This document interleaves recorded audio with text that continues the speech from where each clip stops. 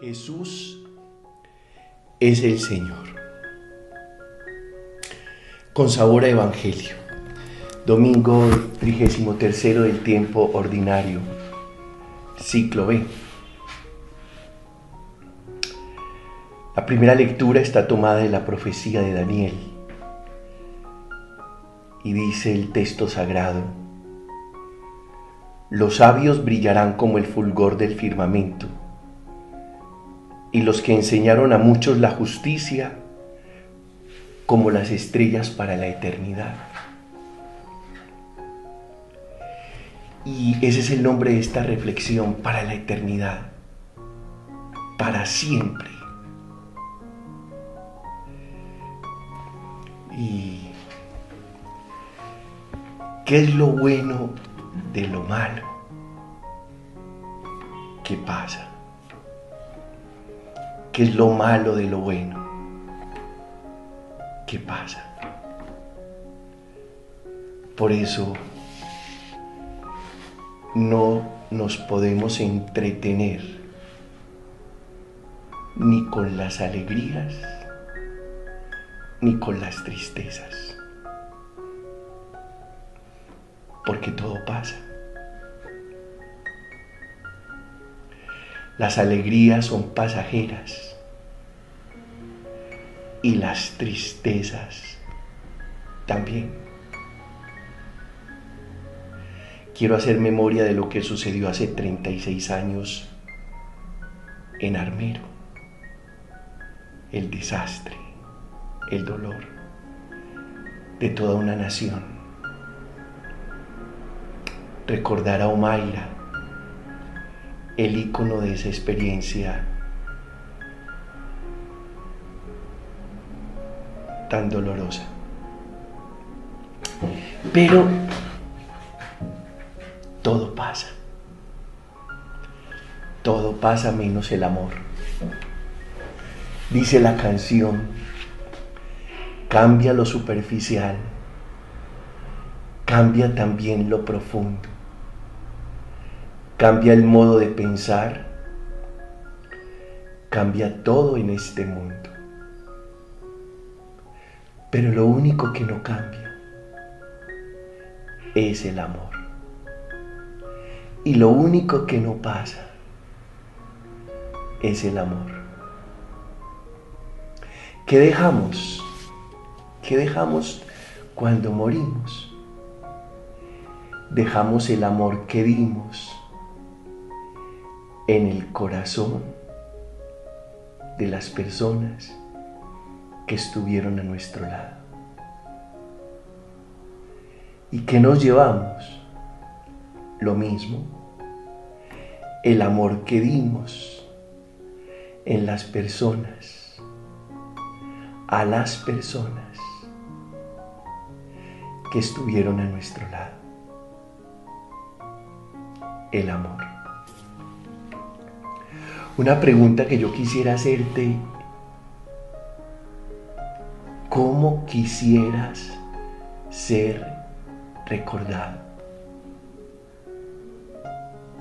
¿Cómo quisieras ser recordado? ¿Por qué? Porque mm, lamento mucho que una persona sea recordada por el mal que hizo, por el daño que ejerció sobre otros con impacto local o con impacto mundial. Y me alegra mucho por las personas que son recordadas para siempre, que hicieron tareas con sabor a eternidad por el bien que hicieron. El bien es para siempre para siempre.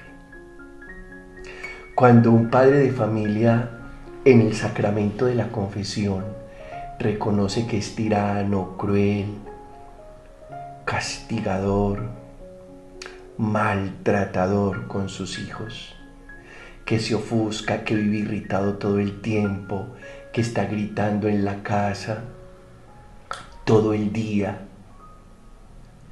Yo le pregunto a ese papá, o a esa mamá? ¿Usted cómo quiere ser recordada o recordado por sus hijos cuando ellos crezcan y usted ya no esté físicamente entre ellos? Qué bueno que cuando los hijos crezcan tengan los mejores recuerdos de la infancia, porque sus papás fueron buenos, educaron con exigencia, pero contemplaron con ternura. ¿Cómo quiere ser recordado un presidente, un gobernador, un alcalde, un obispo, un sacerdote, un maestro, un médico, un servidor público, un empresario, un miembro de familia. Para siempre, para la eternidad. Y el primer punto de reflexión tiene que ver con esto. Eh, hechos para la eternidad, para siempre, personas sabias y justas. Vuelvo sobre el texto de Daniel capítulo 12. Los sabios brillarán como el fulgor del firmamento y los que enseñaron a muchos la justicia como las estrellas para toda la eternidad. Una persona sabia, una persona educadora en la justicia, nunca se olvida. La sabiduría y la justicia le dan el poder de trascender. Y se trata precisamente de eso, de no ser aniquilados por la muerte se trata de trascender. Segundo punto de reflexión.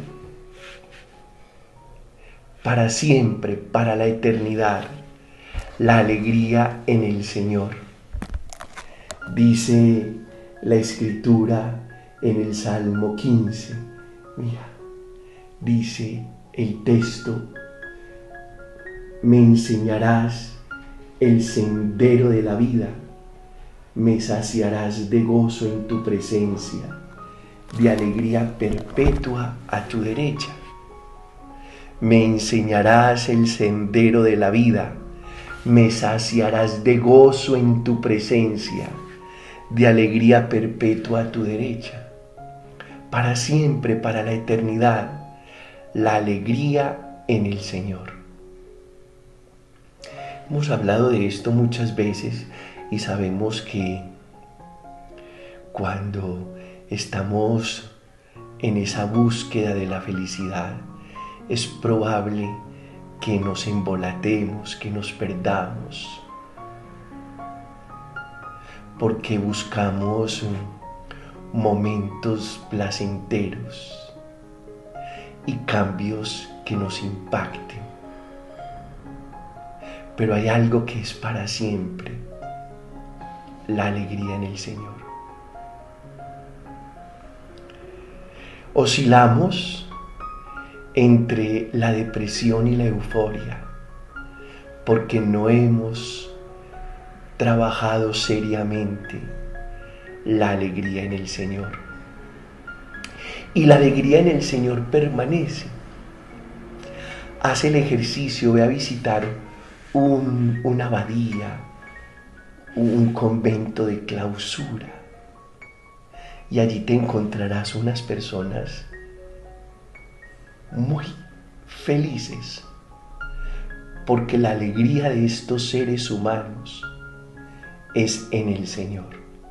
Llévales unos turrones baratos y te darás cuenta de la fiesta que le harán a esos turrones baratos.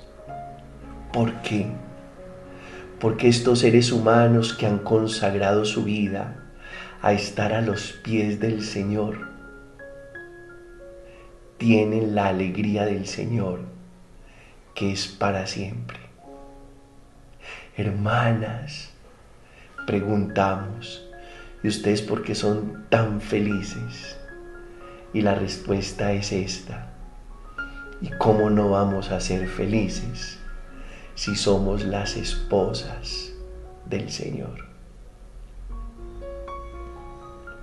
Alguna vez tuve la oportunidad de llevar un grupo de alumnas de un colegio de clase alta a un monasterio eh, de hermanas consagradas a la vida contemplativa.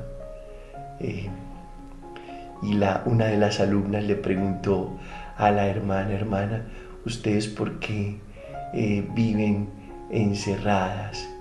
Y la hermana le preguntó a la alumna, ¿Y por qué crees que estamos encerradas? Ah, por estas rejas, porque la sala de ellas y la sala de los visitantes estaba separada por una reja. Y la hermana le respondió, niña, con todo amor y mucho respeto, esta reja no es para nosotros, esta reja es para ustedes. Ellas se sienten plenamente libres en el Señor. La alegría en el Señor permanece. Y, uno pudiera pensar, pero si la vida de estas religiosas es muy plana, si la vida de estas religiosas es monótona, empezando porque siempre tienen un hábito, no pueden cambiar de vestido, no se pueden hacer cambio de look, eh, de peinado,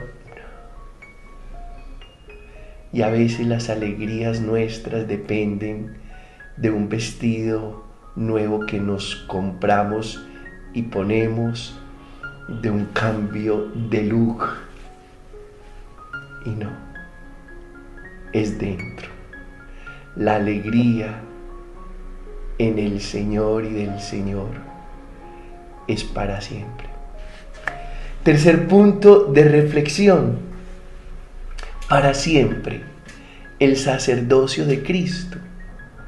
Y lo dice claramente la carta a los hebreos en la segunda lectura, pero me apoyo en este Salmo 110. Palabra del Señor a mi Señor, siéntate a mi derecha y ve cómo hago de tus enemigos la tarima de tus pies. Desde Sión extenderá el Señor el cetro de tu manto, domina en medio de tus enemigos. Tuyo es el principado desde el día de tu nacimiento. De mí en el monte sagrado tú has nacido, como nace el rocío de la aurora. Juró el Señor y no se arrepiente. Tú eres sacerdote para siempre, según el rito de Melquisedec. A tu diestra está el Señor. Aplasta a los reyes en el día de su cólera. El Señor lo ha jurado y no se arrepiente. Dios Padre lo ha jurado y no se arrepiente. Tú eres sacerdote eterno, según el rito de Melquisedec. Y yo quisiera contarte, Melquisedec tenía la manera de, la manera de su sacerdocio ofreciendo pan y vino. Y refiriéndose a Jesús, decimos que Jesús es sacerdote eterno porque ofrece pan y vino, pero más que ofrecer pan y vino, no ofrece sangre ajena, como lo dice la carta a los hebreos, sino que ofrece su propia sangre y es sacerdote eterno, sumo y eterno sacerdote, es decir, el sacerdocio de Cristo es para siempre. Jesús está ejerciendo su sacerdocio a la diestra del Padre, intercediendo por ti y por mí las 24 horas, los 7 días, los 365 días del año, siempre. Jesús está a la diestra del Padre, intercediendo por ti y por mí. Esa es su manera de ejercer su sacerdocio, de ofrecerse a sí mismo por ti y por mí. Es hermoso. A veces no somos conscientes de esta realidad eh, mística y extraordinaria. Cuarto punto de reflexión, para siempre, la palabra de Dios. El Evangelio dice, en aquel tiempo dijo Jesús a sus discípulos, en aquellos días después de la gran angustia, el sol se oscurecerá, la luna no dará su resplandor, las estrellas caerán del cielo, los astros se tambalearán. Entonces verán venir al Hijo del Hombre sobre las nubes con gran poder y gloria. Enviará a los ángeles y reunirá a sus elegidos de los cuatro vientos, desde el extremo de la tierra hasta el extremo del cielo. Aprendan de esta parábola de la higuera. Cuando las ramas se ponen tiernas y brotan las yemas, deducen que el verano está cerca. Pues cuando vean ustedes que esto sucede, sepan que Él está cerca. En verdad les digo que no pasará esta generación sin que todo suceda. El cielo y la tierra pasarán, pero mis palabras no pasarán. En cuanto al día y la hora, nadie lo conoce, ni los ángeles del cielo, ni el Hijo, solo el Padre. El cielo y la tierra pasarán, pero mis palabras no pasarán. La palabra del Señor es eterna. Eso es hermoso. La palabra del Señor no tiene fecha de vencimiento.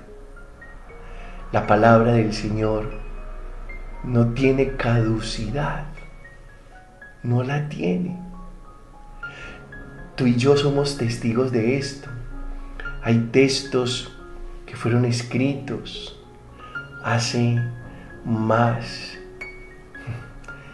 de 3.700 años y los proclamamos, los estudiamos, los leemos y tienen una actualidad desbordante, son más actuales que el último registro noticioso de la televisión.